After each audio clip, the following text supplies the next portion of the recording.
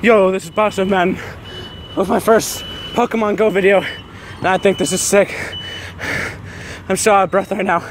I just caught a Snorlax. It was 1174, I just powered it up. I got it with a Razz Berry and one great ball. This is insane. It's beautiful. This is incredible. Snorlax, baby. We, my brother Colin too is like 800 and something, but uh, this is insane. We saw it pop up on our radar, and we ran around these stores. It ended up being in the back of the store, so we had to run around through the back, and we finally found it and we caught it, which is sick.